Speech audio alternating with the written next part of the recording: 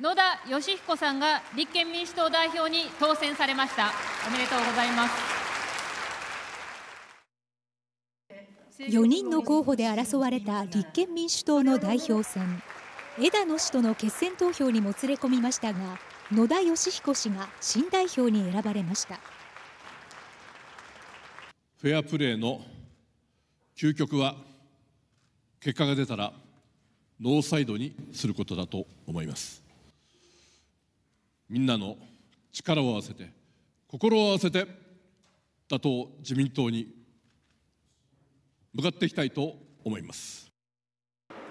野田新代表の誕生に福岡の町の人は変わり映えがしないよね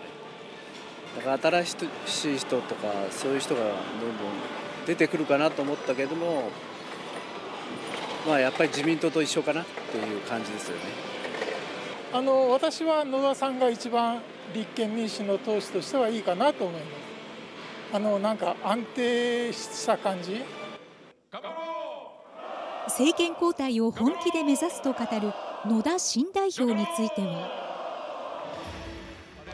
今までのことからすれば多分あんまり期待しても本気でやらないとできないんじゃないですかっていうのを民主党には言いたいよね。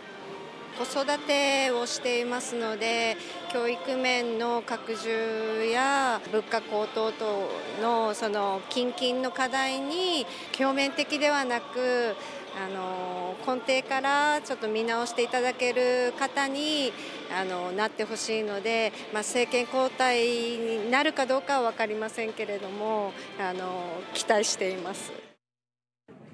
野田新代表によって立憲民主党はどう変わるのでしょう？福岡県連の木井隆氏に今回の代表選について聞きました。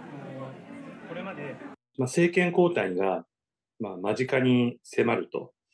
いう感覚を持つ方が増えている中でやっぱり政治経験が豊かで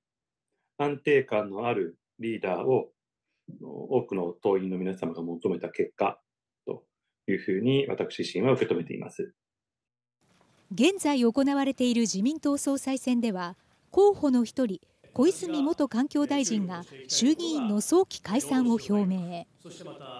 野田新代表も選挙戦への意識を高めています。裏金の大物議員安倍派二階派の幹部のところで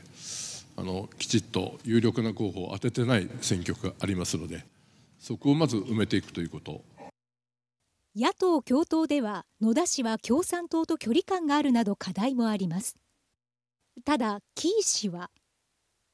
維新の皆さん令和の皆さん共産党の皆さんなども含めて国政野党側の選択肢が絞られることによって全国で今の今までの自民党の議席を大きく減らして新しい政権に日本を近づける自民党の総裁選は届け出順にご覧の9人によって論戦が繰り広げられています。政治と金の問題をめぐる自民党改革や物価高対策などが争点です。自民党総裁選は今月27日に投開票されます。